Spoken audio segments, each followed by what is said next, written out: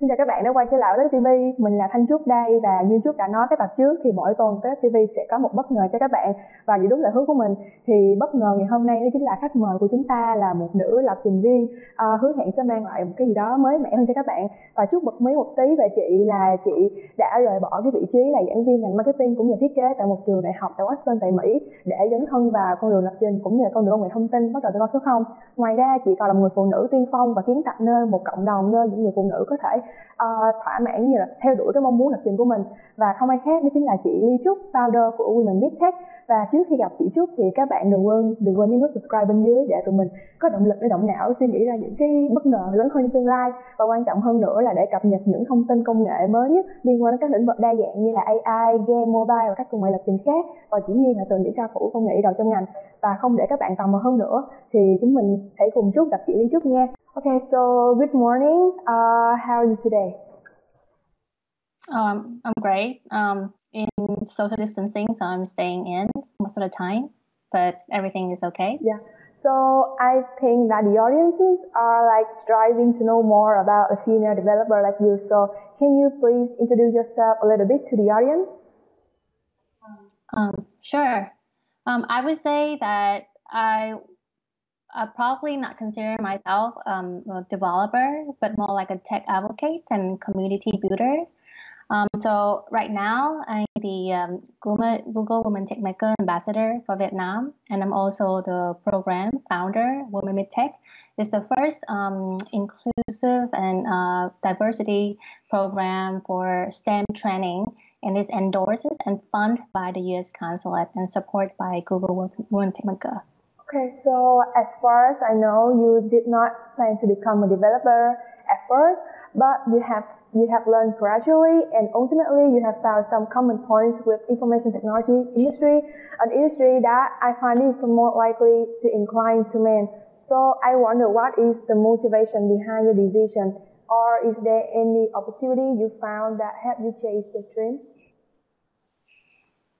I would say um, computer science uh, used to be a mystery to me and I'm always during the past, um, one of the things that I'm scared the most was actually some technical stuff because I don't understand what, what it was. Um, looking through programming language, it was like another world to me. And it's kind of puzzled me sometimes that I don't understand certain things that has been causing and having so much impact in my life. Um, starting the time when I was in Boston teaching as a, a marketing faculty, and I got a lot of you know opportunities to attend um, seminars and tech conferences in, in Boston with um, you know MIT and Harvard. They've been very active in hosting those events, and so coming to those events, I realized that um, there's a lot of opportunities out there um, for for everyone, not just for you know the people who actually study computer science but for uh, for researchers, for marketers, for even you know like newbies who wants to use um, technical skill to advance their career. So I figure you know it's the right time for me that that I, I have to make this change, you know, like right away. And so I make a bold movement and then move back to Vietnam. And I realized that this is a good place to be because the tech scene in Vietnam has been growing so fast and um, and I found the opportunity for, for myself to learn and grow as fast as well. So um, and I think that I made the right decision um, coming back, and so that's why I can do a lot of things back here, um, and not only for for myself to grow, but to um, contribute to the community and you know make a, a big impact, especially for for women tech um, when I first came back to Vietnam um, and joining those, you know, very kind of hardcore tech conference, mostly I'm the only one or two female in the room. Um, and it's kind of caught me off guard. And I think, you know, like I need to do something. So, um, you know, it's just starting from that, that moment where I think, you know, there's a lot of programs for women around the world, uh, women tech, you know, STEM training for, for girls. And I haven't seen that very popular in Vietnam back 2018. And so I took the initiative and you know start doing um, the first uh, seminars to teach women basic web programming, and it just start from there. Oh, okay, I see. So, for example, there are two circumstances: following your passion or just trying one field randomly. Have you ever thought that you was in the second case since you like didn't find any passion for programming at the beginning?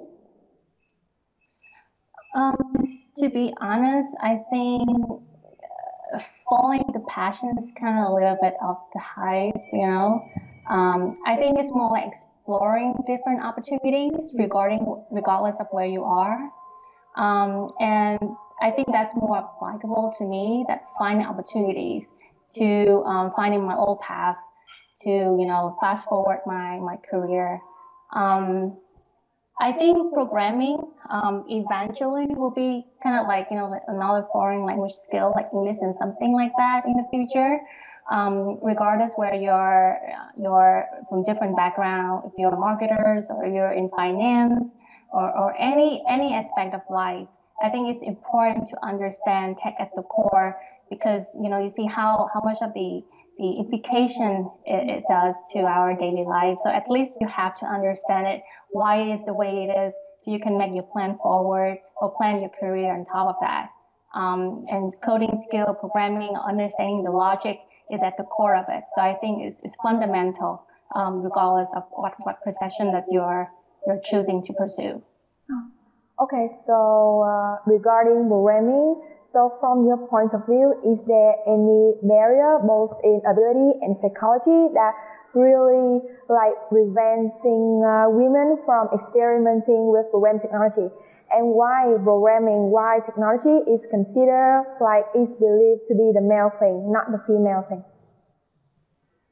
Mm, I think it's been there's been a lot of um, perception about genders regarding um, you know, if you're if you're a guy, you're better with logics. And if you're a girl, you're better with something more artsy or into any kind of caring professions like nursing. Um, I, I, don't believe in those. Even those, you know, there are different scientific uh, research and papers saying different things. But I do believe that everyone has all capability, and those capability um, don't necessarily, you know, like based on genders. So, you know, a guy can be really good being a nurse and a girl can be, you know, great data scientist or, you know, computer scientist and etc.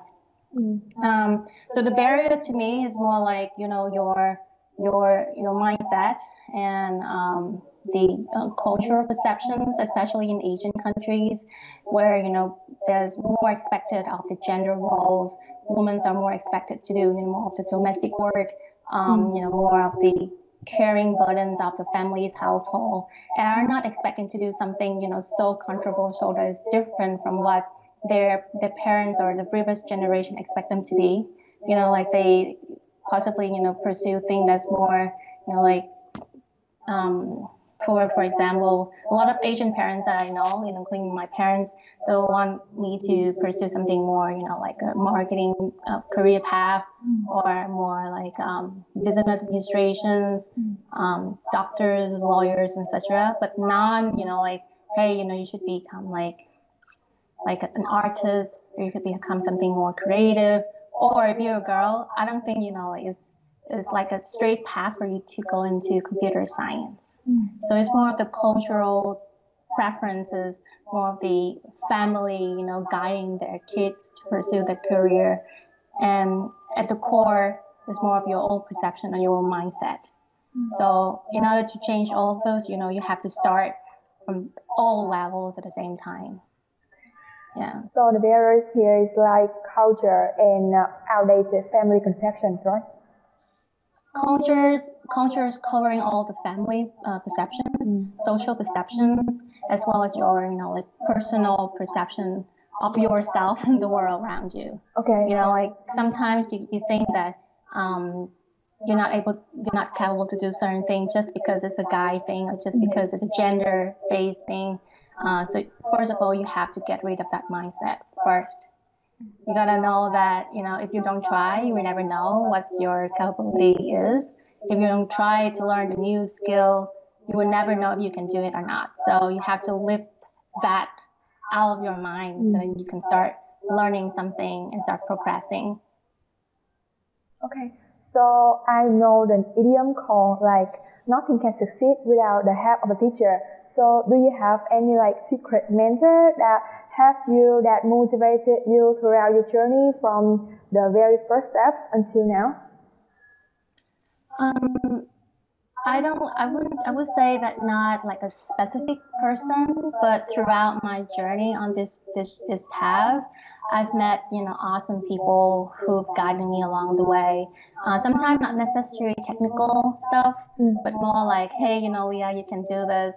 Um, just give it a try. You know, like and you know you're you're one of the first few people who t- to do this so you just keep on trying so those motivational uh, you know sharings and um, and and kind of you know like kind of help me uh, push my limits and help me moving forward um, not specifically you know one person um, but I, have met so many amazing people along the way. Uh, some people come come from you know like community uh, builders as well, just like myself, who have done uh, a lot of amazing work ahead of me. Um, sometimes you know is is my um, acquaintance or my contact that I've met during the um, seminars or workshop that I've been to, or sometimes you know just just on online, you know like learning from like tutorials and so many other things um, so I think like right now, um, your mentor can be just anyone, you know, if, even your peers, your coworker as well. It's not limited just to one particular person that you're calling a mentor. Yeah, it's like uh, an emotional support. Yeah, and, and also the attendees who who comes and uh, support our program. Um, every time that they come back to me and they ask me about questions of how they can pursue the career further, um, after attending my events. Uh, I feel it's very rewarding because you know, like now that they're, I'm like the program actually bringing some some meaningful um, reinforcement and motivation toward themselves. Um, so those actually come back and motivate me to do more more things for the community. Okay. So we're gonna change the topic a little bit. I would like sure. to know more about Women Meet Tech. Can you clarify the definition of Women Meet Tech and uh, what are the current activities of Women Meet Tech in your community? Um, so when I first um, found this community, this program, um, I've seen a lot of uh, women in tech uh, organization community has been very active in Vietnam, but none has been very technical at that time. So, um, and I also want to want to say, hey, you know, this is the woman in tech community, just just another one. I wanted to be like you know more like welcoming as well as you know some practical technical knowledge that you can learn right away after every workshops. And so um, and and with the you know female technical trainers as well that's one of my vision. Um, because um, it's very rare to have the whole team um, um, majority was a woman. Like right now, you know, I have front end developer, I have a back end, very strong technical person, and I also have UI UX, and I myself lead the program. So I think it's, it's also you know create this role models for other um, women and, and, and men to say that hey you know like we're together we can do something different that's never been before in vietnam that is you know this woman's role model we can do it. You know, it's Vietnamese women who can who can code, who can you know talk about technical issue stuff, who can representing Vietnam in different aspects, and so much more. Not just you know being beautiful, or not just you know like um, the, the average you know what expectation of society on women here. Okay, so um, uh, are there are there any difficulties when you are persuading or calling for a sponsor, and how did you do to overcome that? As long as you're showing people that what you're doing is meaningful and have impact, and you know, like helping other people uh, transform their life, their career, um, then more and more people will join in and, and join force and help you to you know move this forward so it's just the beginning when things are hard, but right now I think it's it's going well. that people are starting to know about the community. Um, people are more involved and people are asking me. I think it's reaching to the point that sometimes I feel a little overwhelmed of my capacity. Mm-hmm. Um, so I think it's a good sign. I need to, you know, like expanding this a lot more in my team so that there are more people coming in to help. Yeah. Okay, so uh, I think it would be tough for a non-profit organization to manage the members, especially for large-scale projects or programs. So how many members in your team? Or is there any other units accompanying you? Um, right now, I would say we have six people in our team. Uh, four is for key trainers, technical trainers, and then two and more coordinators. Um, but we're trying to keep this lightweight like that on purpose because we can have more of the freedom to choose to do um, what we think is needed uh, in, instead of running a large corporation with you know hierarchies and small teams here and there. Um, at the same time, you know, budget-wise, I think it makes sense to have a small team uh, to start. Um, but right now, I think we're good with six people, um, and with you know like volunteer and supporters. Mm-hmm. Um, I remember last time we do this um, original pitching contest for diversity and inclusion. Um, we got on almost the impossible jobs to pull those contests within two months. But we do appreciate that at that time we have people from different um, organizations and the consulates and Women Empowerment Club and everyone coming and join help uh, so we can pull that through. So that time, our including volunteers as well. That time, our team was like almost 30 people, and that some people are also from Thailand, from Myanmar, from um, Malaysia, and so many other Southeast Asian country who's at my college as well. So I'm very grateful that you know that we can pull those efforts together, join effort together into building something that seemed almost impossible.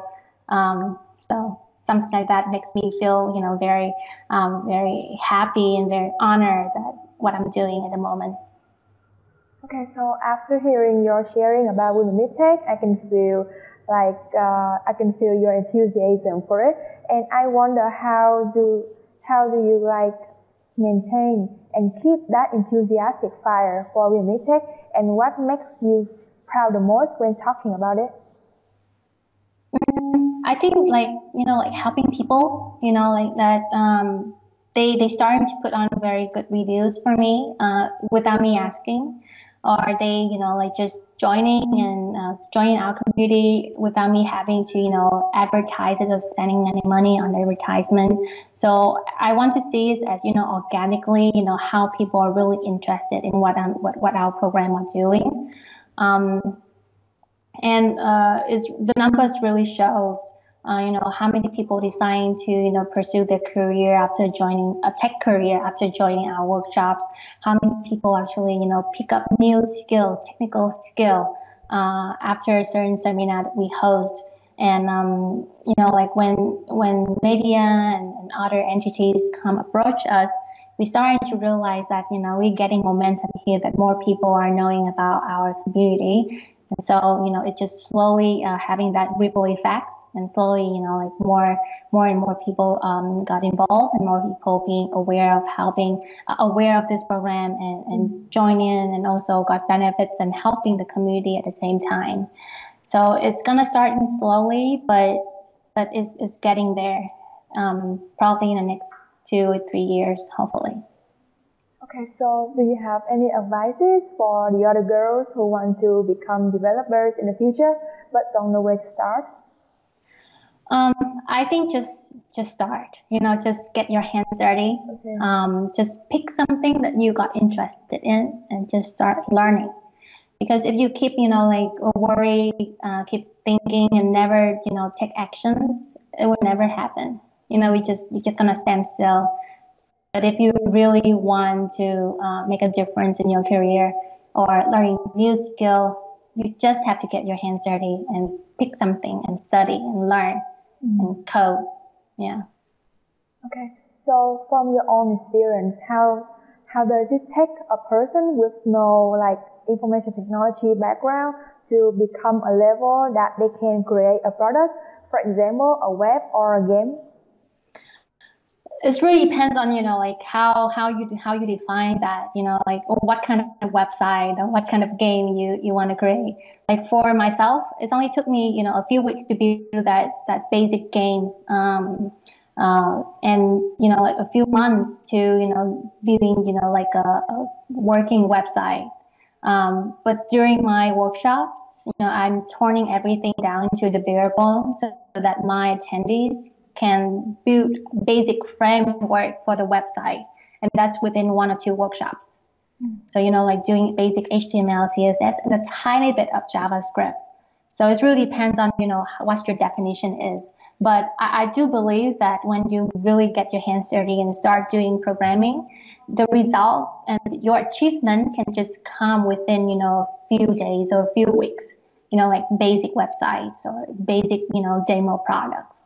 So it's really up to you. Um, mm-hmm. I want to add in this this very good thing about the technical um, the tech industry is that because technologies constantly um, change. So whatever you learn right now is kind of on par with other mm-hmm. software engineers who have been in the industry for so many years. So it's just the just the matter, you know, like how fast and how willing you are to learn new technology. Mm. Because everyone's basically on the same bar of, of learning. Like they also, for software engineering with, you know, senior one, they have to constantly update the new framework, the new technology at the same pace, whatever has come out. And for you, the newbies, you're to leverage that, um, that rapid change in technology adaptation and stuff like that. Learning new framework, learning new technologies, learning what's updated out there. Um, it's just a matter of how fast you can learn and how determined, how ambitious you want to learn things. Um, that's a very good low entry of barrier for some newbies to come into the tech industry. I would like to add.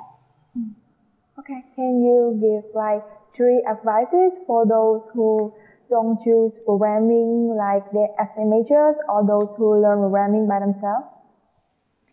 Um, the advice, I think there's a lot of advice out there. Um, there's a lot of tutorial, a lot of online courses, a lot of in-person boot camps. Just one thing, you know, just start, just really do it, and then you will see the results. And then during the process, maybe you realize that maybe this is not for you, maybe this is not for me. Um, and you can start, you know, exploring different options around that. But don't be discouraged if you're just starting out within, you know, a few months give it time to sink in. Sometimes like six months or mostly a year. Um, and some sometimes about technologies, you know, certain certain things like when I started pro- learning React Native, I was like, there's so many things that I don't understand, but I just have to do it. And then after a while, then I would start to realize, aha, now I understand why it is. So you don't have to put yourself in a position where you have to understand everything mm. at once it's not going to happen, even for developers, experienced one. You just have to really do it, and then you know, come to a certain point of time, then you will understand why it is the way it is. But the matter is, you have to create it in order to understand. But if you just you know keep saying about it, if you just you know like just watching tutorial or just you know going to tech seminars, so not really do anything on your own, you will never able to learn. So mm. just get your hands dirty and start learning something. Mm. Okay, so um, like, do you want to leave some messages to the male developers whose colleagues are female? Um, I think you know, like having the um, the, the support, you know, like allies from, from, from different genders are very important in bringing the gender gaps uh, smaller. Um, and especially here in our tech scene, Vietnam, where there's you know very few women joining this uh, this journey. Um, I hope that you know the the work environment uh, for for for women, uh, especially from from you know from from this from this guy team. If there's a woman or two in your team, you know, just treat them as if you're treating your friends, as if you're treating mm-hmm. yourself or or your male college. Not tr- treat them as if they're they're a woman you know just treat them as you know like as your your co-workers and that's it just don't um, don't you know place in that because they're they're women they tend to be you know less technical or they have you know other things that they worry about, so they won't be efficient at work. That's not true.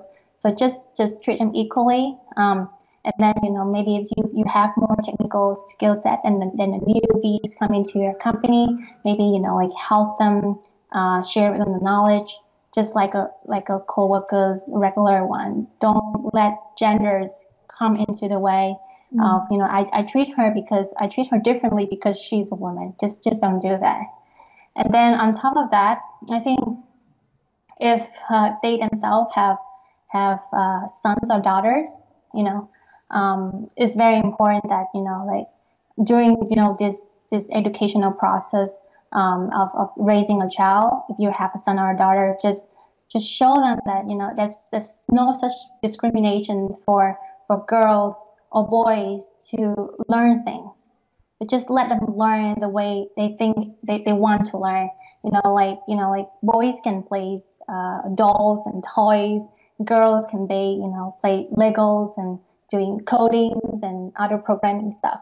Just remove that gender's uh, bias out of raising your kids um, and then you know starting from the family um, i have some of the female coworkers of mine um, who are very fortunate to have a supporting spouse because you know especially in vietnam when if you have your wife working in the environments where it's all guys mm. of course there's certain resistance so I, I asked for understanding from mm. from the from the husband's perspective that you know like you understand that that your your wife is going out there you know like pursuing her professional career and you know to um, slowly change this uh, gender gap issue in tech. So if you're a very supporting spouse you're understanding and you're you know kind of support her emotionally to help her advance more in your in their, her career instead of you know like pulling her back and say hey you cannot do that because there's a lot of guys and you're not supposed to be in that environment